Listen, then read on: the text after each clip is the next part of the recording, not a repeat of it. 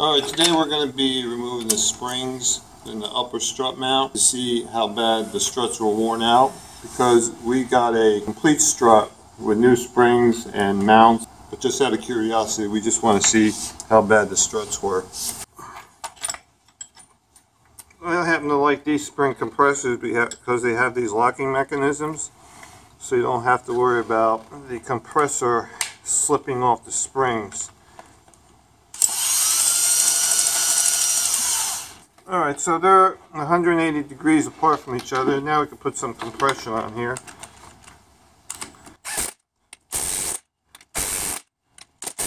Okay, what we want to do is just remove the upper strut mount without the springs flying off.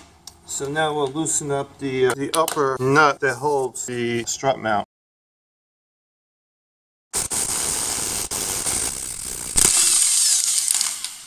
Okay. This bump stop is, is shot.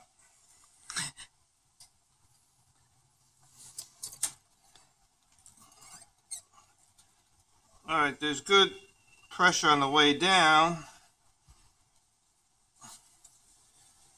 And the rebound is a little bit on the slow side. But it's still rebounding, so there's still gas in here. But it looks like it's stopping. So that's it. It stopped right here. So you can say this strut's worn out.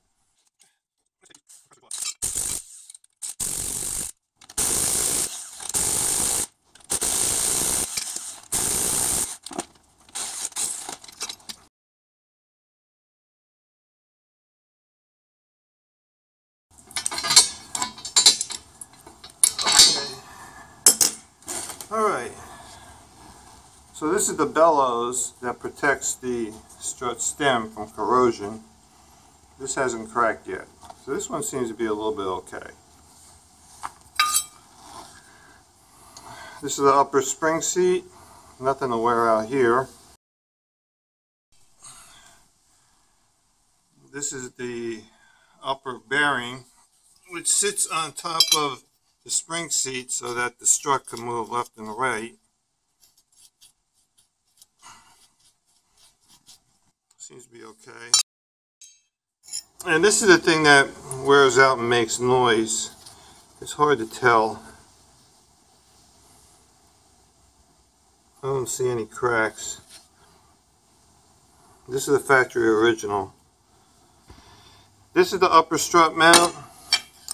This is the spring seat. This is the bearing so that the strut can rotate back and forth like this. Then this is the bellows that goes underneath it like that. When we put the new struts on, the car was riding a little bit higher. So I guess you could say these springs were worn out, which would be reason enough to, to get a complete strut instead of just replacing the strut. If you want to know what's the proper amount of tension to put on these spring compressors when the spring separates away from the upper spring seat or the lower spring seat then you know that you relieve tension on the spring that applies constant pressure to the upper strut mount.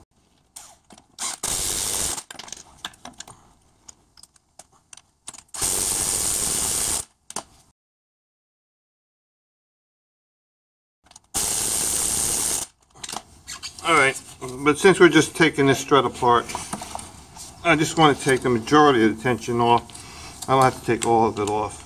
Alright, now I'm going to disassemble the strut.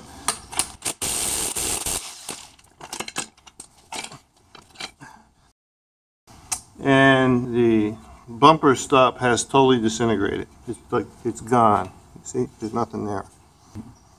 Now this is shot because you got you got that break in the rubber. This is the remnants of the the bumper.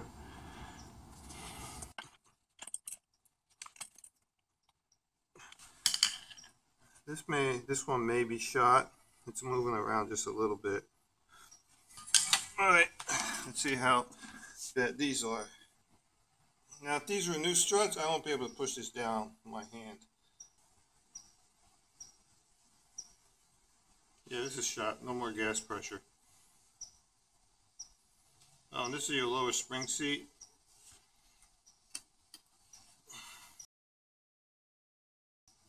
So, if you're thinking about doing a strut replacement, you may have to re- replace the spring seat, the strut bellows, the upper strut mount.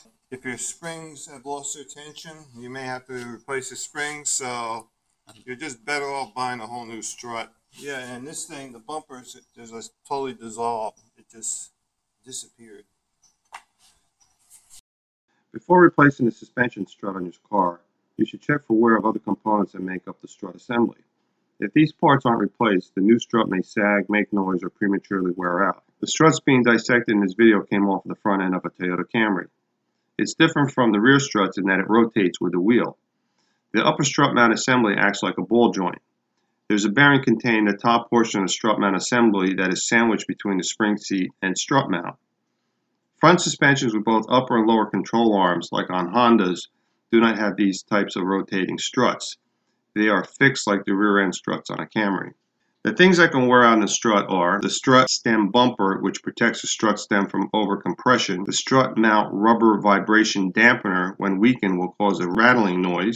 The strut bellows or boot, which protects the strut stem from dirt and moisture, and a weak strut spring that won't keep the proper ride height. If one or more of these strut components needs to be replaced and are to be included in the strut replacement, you may be better off just buying a complete strut, also called a quick strut, with all new components. Companies like Monroe, Moog, Gabriel, KYB, and Sachs come close or exceed the quality of original factory struts and come with a decent warranty.